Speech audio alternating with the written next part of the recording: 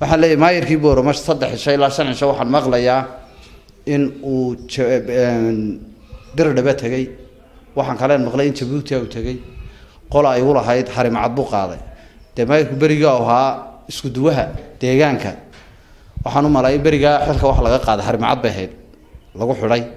Maantana waxaan is leeyahay haddii maayirkii baxsaday waa laba mid. Inuu hanti dhowrkii markii saddexaad ay tahay oo ninkaa xidhayo iyo inuu harimacad qaaday uu jabuuti geliyey.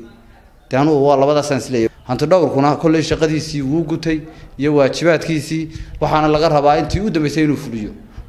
Dee guddoomiyaha degmadu saddex bilood ba shaqaalihii dowladda hoose mashaarkii ay ku leeyihiin taana waa ayaan daro markii xilka laga qaadayena saddex bilood bay ku lahaayeen. Kolley xogayii hore wuxuu yihi waan kaa horreeyay waad iga daba iman waa timin baan u malayn kolley waxaan u malayn maayirkaanu diridhaba ku ogeyn haddana jabuuti galay de no waxaa dadku ay sheegayaan ba runo harimacadkaasu qaaday malaha xildhibaankuna kolley naftiisa iyo shaqadiisa marka la weydiiyey inuu daafaca ku habboon laakiin inuu daafaco guddoomiyaha degmada dee ma waxaan u malayn xisbiyada waa la taageeraa laakiin maayirada inaan taageerno sacabtuno lanooma igman. Waxaa lanoo igmaday inaanu maayirka shaqada ku kantaroolno oon toosino laakiin haddii shaqada uu wanaagsan qabtana waanu ku hambaliyana waan taageeranaa haddii uu shaqo xun qabtana waanu dhaliilanaa inay ku soo adkaatay oo hanti dhowrkii maanta ay tahay.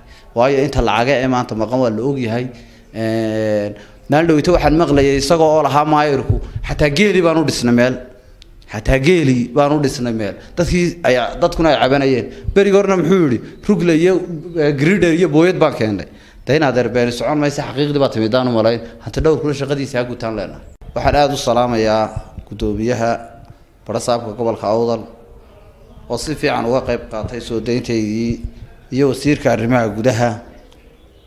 Labadaba aada baan u salaamayaa. Waxaa kale halkan aada uga qayb qaatay xisaabiyaha guud cabdi nuur gudaal. Isna aada baan u salaamayaa. Kolley waxaan leeyahay anu xildhibaan qaran baan ahay. Xildhibaan golo deegaan baan ahay. Maadaama xildhibaan golo deegaan aan ahay sharcigu intaa uu siiyey waan garanayaa waxaan u malayn haddii dembi aan faraha kula jiro markii laysoo qabtay in waajibaadkeyga iyo sharciga lay mariyay ahayd.